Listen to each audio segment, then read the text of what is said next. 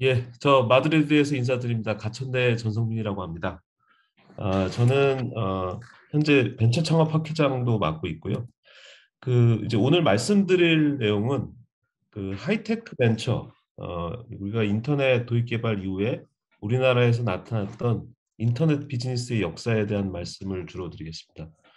어, 우리가 이런 연구에 대한 우리 이런 모티베이션을 갖게 된 이유는 20세기 초반에 이제 미국 같은 경우에는 이제 산업혁명이 일어나고 거기에 대해서 경영사 쪽으로 많은 연구가 이미 일어났음에도 불구하고 어 이제 우리나라는 이제 우리가 인터넷 도입 개발 이후에 어 비즈니스가 아주 혁신적으로 바뀌기도 하고 사회 경제적으로도 큰 변화가 있었는데 여기에 대한 저작물들이 굉장히 제한적으로 지금 나오고 있습니다. 기존의 저작물도 뭐 회사에 대한 이제 단순한 기록이나 그런 거에 불과하고 어 그다음에 이제 교수 일부 교수님들이 사례 연구를 하고 있으나 어 이게 이제 어떤 그 holistic한 view라든지 통사적인 그런 관점에서 보지 못하고 있는 그런 관점에서 역사적 연구가 필요하지 않느냐 뭐 이런 이런 관점에서 우리가 출발하게 됐습니다. 슬라이드에서 보시는 바와 같이 이제 timeline을 보시면 우리나라의 어, 인터넷 비즈니스의 역사는 그러니까 이 하이테크 벤처의 역사는 그 실리콘밸리의 에, 기업들의 역사들하고 아주 밀접하게 이제 연결이 되어 있는 걸 볼 수가 있는데요. 1980년대 이제 90년대를 거치면서 80년대에는 실리콘밸리가 이제 PC나 이런 그 컴퓨터의 발전의 주요 기업들 인텔, 애플, 마이크로소프트, 델, 오라클 같은 그런 기업들이 이제 떠올랐다면 이제 우리나라는 이제 그런 컴퓨터를 어, 국내 어떤 어플리케이션으로 가지고 오느냐 그리고 또 어, 역시 한글을 이 컴퓨터에서 어떻게 돌리게 되느냐 이런 거 관련된 이제 이슈가 떠오르게 됐습니다. 그래서 이제 메디슨이라든지 어, 큐닉스, 삼보 컴퓨터, 휴먼 컴퓨터 이런 이런 데가 이제 주요한 에, 역할을 했다 그러면은 이제 90년대 들어서면서는 이제 인터넷 기업들 넷스케이프, 야후, 이베이, 뭐 아마존, 구글 이런 회사들이 나타났고 어, 한국에서도 마찬가지로 그 인터넷 인프라를 기초로 해서 새로운 기술이라든지 아이넷이라든지 그 다음에 온라인 게임을 하는 넥슨과 NC소프트 같은 회사 그리고 지금도 서비스를 많이 하고 있는 다음이나 네이버 같은 회사들이 나타났던 걸 볼 수가 있겠습니다. 그래서 이제 우리가 이걸 접근을 어떻게 할까 하다가 이게 이제 어, 자칫 뭐 신문 기사를 조합하는 거에 불과하면은 좀 어려울 것 같아서 개별 회사들에 대한 사례 연구를 말씀드리려고 하는데 오늘은 시간 관계상 자세한 얘기를 다 드릴 수는 없으니까 그 핵심적인 말씀을 좀 드리겠습니다. 삼보 컴퓨터는 잘 아시다시피 이용태 박사님이 이제 1980년에 청계천에서 만든 회사인데요. 어, 이 회사는 이제 뭐 프린터하고 보석글, 워드가 그러니까 우리 아래 한글 나오기 전까지는 워드 프로세스에서 굉장히 많이 사용되던 걸 했고요. 그다음에 이제 우리나라에서 최초로 이제 PC를 이제 만들었다고 볼 수가 있는데 이 PC가 이제 해외 수출도 됐고 이제 90년대 들어서는 이제 앞서도 설, 저 발표가 일어났습니다만 어, 이제 통신 쪽으로 이제 사업을 확장해가지고 드루넷 같은 초고속 인터넷 비즈니스도 하게 됐고요. 특히 90년대 말에는 그 이머신즈라는 이제 그 어, 그 저렴한 PC를 가지고 전세 미국에 이제 진출을 해가지고 아주 그 크게 성장을 하기도 했습니다. 근데 하지만 어, 이제 닷컴 버블 이후에 이제 회사도 좀 약간 어려워지고 그랬습니다만 그러나 이제 삼성 컴퓨터는 이제 역사적으로 어, 우리나라 그 IT 기업을 하는데 이제 다른 회사를 지원해 주는 거기도 했고 그다음에 이제 그 우리나라 인터넷의 주요한 인물들이 또 여기 이제 가서 어, 이 컴퓨터 전반에 대한 지식을 얻을 수 있는 좋은 기, 계기를 제, 공해 줬다 이렇게 볼 수가 있겠습니다. 죄송합니다. 큐닉스 컴퓨터는 이제 뭐 자세한 얘기는 다 넘어가고 중요한 게 이제 큐닉스 컴퓨터는 어, 역시 이것도 한글 처리랑 아주 밀접한 관계가 있는데요. 이게 이제 MS 쪽에서 지금 현재 유니코드 쓰는 거하고도 이제 밀접한 관계가 있는 영역이라고 볼 수가 있겠습니다. 그래서 어, 이제 카이스트 출신의 이제 이범천 박사님이 창업을 해서 이게 이제 여기 팀이 이제 MS 쪽에 나중에 이제 많이 왜냐하면 이제 한글 어, 윈도우즈가 나오는데 또 여기 또 기여한 부분이 굉장히 많이 있어서 어, 그, 그 의의가 있다고 볼 수가 있고요. 그다음에 너무나도 잘 알려져 있는 이제 메디슨 사례죠. 저 이민아 회장님이 이제 회사를 만들어 가지고 이제 PC 프로그래머라는 기능을 가지고 이제 의료 장비를 만들었습니다. 그래서 회사가 어, 거래소에 상장이 돼가지고 시가총액이 무려 1조 5천억 원에 달할 정도에 이르렀고요. 뿐만 아니라 이제 여기 이제 자회사들이나 여기 이제 메디슨 출신의 창업자들이 굉장히 많이 됩니다. 그래서 우리나라의 어 스타트업 벤처 커뮤니티를 이루는 데 아주 큰 기여를 했다고 볼 수가 있고요. 또 이민하 회장님 개인적으로 또 어 또 벤처 기업 협회라는 걸 만들어서 이 벤처를 위한 제도 예를 들어서 이제 코스닥을 설립했다든지 벤처기업 육성법 같은 걸 만들었다든지 이런 점에서는 크나큰 기여를 했는데 이제 다른 한편 이제 자회사를 너무 많이 가지고 뭐 벤처 연방을 만든다 뭐 이런 걸 해 가지고 코스닥이 막 올랐을 때 에 선단 경영을 했다는 이런 비판은 이런 어 '재벌과 다른 게 뭐냐.' 이런 이런 비판도 좀 있었던 것도 사실이고. 어 그리고 이제 휴먼 컴퓨터는 이제 데스크톱 어 publishing 분야에 했던 건데 여 역시 이것도 삼보 컴퓨터가 투자를 하고 같이 예 일을 한 그런 측면에서 큰 의미가 있었고요.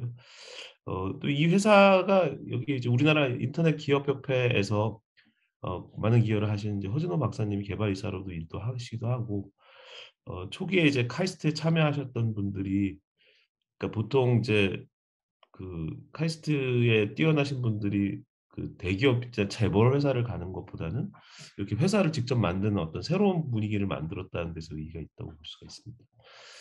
또 새롬기술은 어 그 역시 카이스트의 전산과 석사 출신들이 창업 만들었는데 초기에는 인제 어 인터넷으로 팩스를 보내는 팩스맨이나 그다음에 이제 PC 통신을 이제 할 수 있게 해 주는 새롬 데이터맨이라는 전 국민이 쓰는 그런 프로그램을 만들었었는데 어 이러다가 이제 지금 화면에서 보시는 바와 같이 인터넷상에서 국제 전화를 할 수 있는 이제 Dialpad 비즈니스를 내면서 이게 엄청난 인기를 끌게 됩니다. 그래서 어 코스닥 시장에서 뭐 어마어마한 어 인기를 끌게 돼서 시가총액이 무려 5조 원을 넘는 이제 그런 성과를 냈고요. 예 그래서 그 돈을 가지고 이제 네이버하고 뭐 다음을 인수하려고 하는 그런 노력도 했었었던. 예. 이이 새로운 기술과 관련돼서 이제 다이얼 패드에는 굉장히 좀 우리가 좀 더 들여다볼 필요가 있는데요. 이 다이얼 패드는 그 이제 새로운 기술의 미국 지사인데 이제 IMF 시절에 이제 본사 지원이 끊친 끊긴 상태에서 독자적으로 이제 미국에서 사업 모델을 만들었는데 그 당시 이제 인터넷 사업 모델이라는 게 이제 야후가 그 당시에 이제 사업 모델 처음 만들 때 어떻게 했냐면 많은 사용자들을 끌어들인 다음에 광고를 통해 가지고 사업을 만드는 그런 그런 사업 전략을 썼어요. 그래서 마찬가지로 다이얼 패드도 이제 그런 류의 사업 모델을 구상해서 추진해 갖고 실제로 투자도 굉장히 많이 유치받았고 사용자가 뭐 1,400만 명, 투자 자금도 6천만 달러에 달했고 직원도 미국에서 170 명에 달할 정도로 굉장히 커졌습니다. 이게 이제 국내 기술 회사가 실리콘밸리에 도전해 가지고 굉장히 큰 성과를 이뤘다고 볼 수가 있는데 예 안타깝게도 닷 닷컴 버블 이후에 이제 회사가 굉장히 어려워져 가지고 예 인제 뭐 법정 법정 관리에 들어가게 됐습니다. 그 오른쪽에 보시면 이제 스카이프가 있는데 이제 스카이프는 인제 그 거의 유사한 아이템으로 출발해서 어 근데 이제 회사는 나중에 이제 이베이를 거쳐서 안드레슨 호로이츠의 어 무려 이 27억 불 그리고 나중에는 2011 년에 마이크로소프트는 80억 우리 돈약 9조 원 정도의 가치 평가를 받고 이제 인수당하게 됐는데요. 그런 측면에서 보면 정말 다이얼 패드가 굉장히 큰 의의가 있는 회사가 아닌가 싶습니다. 그다음에 이제 잘 알려진 이제 다음과 네이버 말씀 잠깐 하는데 다음은 이제 출발은 인제 그 연세대 창업팀이 예술 사이트, 잡지 인터넷 잡지 형태로 어떤 사업을 시작했습니다. 그러다가 에 97년 5 월에 이제 이잘 알려져 있는 무료 이메일 한메일을 서비스하면서 어 당시에 PC 통신 사용자들이 대부분이었고 인터넷 사용자들은 극히 적었는데 어 아주 당찬 목표를 가지고 이' 회원 수를 늘리겠다.' 이제 그런 걸 했는데 실제로 98년 말에 1 0 0만 명의 회원 수를 확보하면서 어 99 년에 코스닥에 등록해서 26일 연속 상한가를 치는 아주 어마어마한 성과를 내게 됩니다. 그래서 근데 이제 이게 이제 중요한 점은 뭐냐면 이제 이전에 인터넷 비즈니스가 서비스를 만드는 사람이 일방적으로 서비스를 제공해 줬다고 한다면 이제 다음과 네이버에 이르게 돼서는 그 사용자들이 요구하는 사안들을 계속 이제 고쳐주는 거죠. 그러니까 예전에는 뭔가 IT 서비스를 만들면 일방적으로 써 "서비스 써라." 이렇게 했었는데 이거를 이제 사용자들의 피드백을 받으면서 이렇게 했다는 것에 큰 의의가 있다고 볼 수가 있겠습니다.